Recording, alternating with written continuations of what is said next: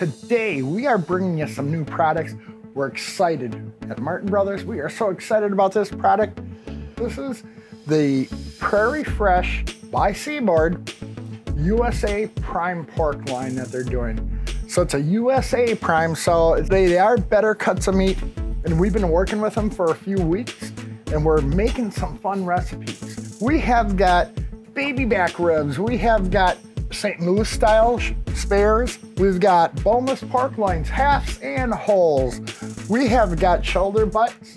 We even have the bone-in loins. We can cut it into some beautiful bone-in premium pork chops, or we can do a standing roast. We do have some beautiful pork tenderloins that I stuffed. We're gonna do a Mediterranean style here. So we're gonna get it stuffed with feta, some spinach, sun-dried tomatoes. We're gonna put a little glaze over it and we're gonna roast it. We're gonna take one of our half loins today and make into an Italian roast. And then we're gonna slice it up and make some cool hoagies or Italian sandwiches. These do come in half loins and we do have them in full loins too, so they're two different items. The ribs.